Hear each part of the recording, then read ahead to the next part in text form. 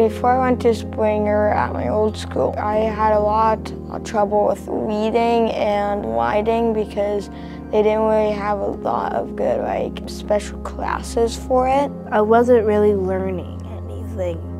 They just gave me this work and then I didn't know what to do and then I didn't know what to say. Whenever I couldn't do a problem, they would just keep letting me trying to do it and they would help me.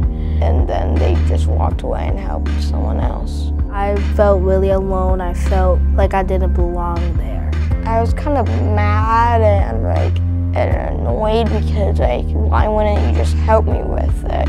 You could have just like explained it in a different way. I was really not feeling the great self I was supposed to be.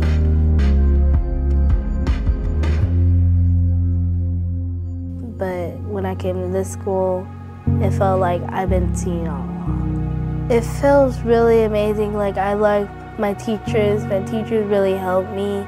At this school, they explain the work that I'm supposed to do. Yeah, I feel like I do get actually seen now.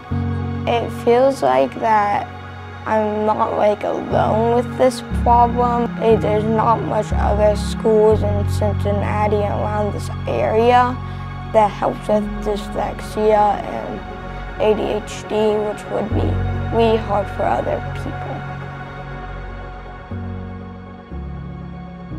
At Springer, we feel this obligation to make sure that every day we show up for these little faces.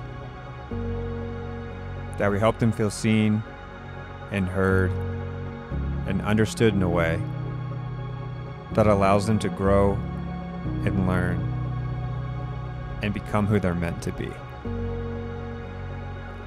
For some people, it just takes being in the right place.